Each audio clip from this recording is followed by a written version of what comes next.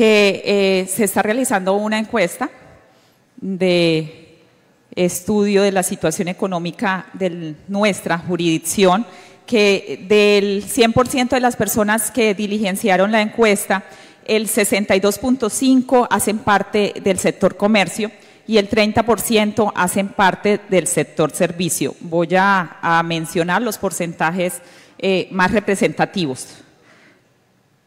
Su, empresa se encuentra actualmente laborando a plena capacidad. El 51.9% respondió que seguían laborando a plena capacidad y el 34.2% laborando con restricciones. El 7.6% eh, mantienen un cierre temporal y el 6.3% están en proceso de cierre definitivo. Porcentajes bastante preocupantes. Presenta disminución en sus ventas, el 87.5% manifestó que presentan disminución en sus ventas, el 8.8% que se mantienen igual y el 3.7% no han tenido disminución en las ventas. ¿En qué porcentaje considera que han disminuido sus ventas? Del 31 a 50% en disminución de ventas, respondió el 33.8%.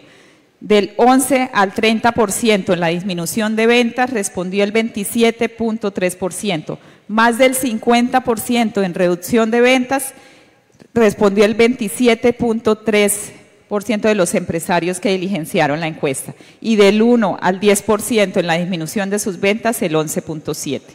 ¿Cuál es el valor de las pérdidas económicas por día que ha tenido frente al bloqueo de vías que afecta al municipio de Arauca?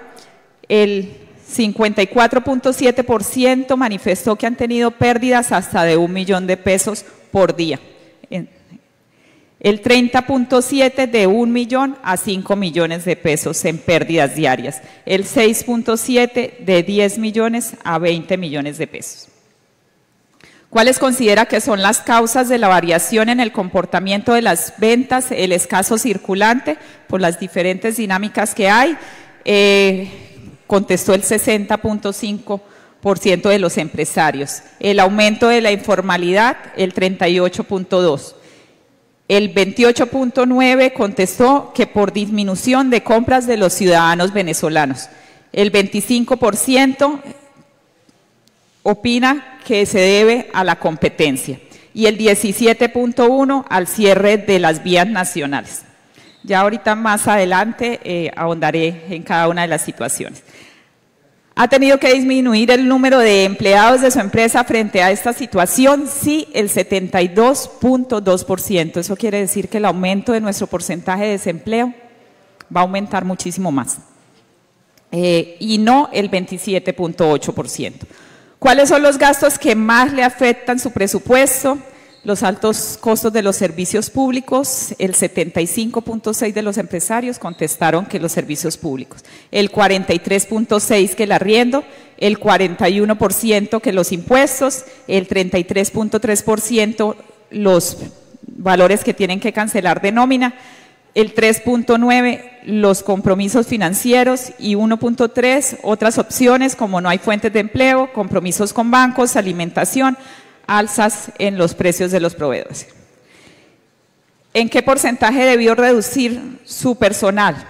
No ha reducido el 34.6 de los empresarios que contestaron la encuesta, del 1 al 10% el 24.4 más del 50% han tenido que reducir su personal el 16.7%, el del 11 al 30% eh, en disminución del personal han tenido el 15.4% de los empresarios y del 31 al 50% del porcentaje de su personal han tenido que reducir el 9% de, los empresarios.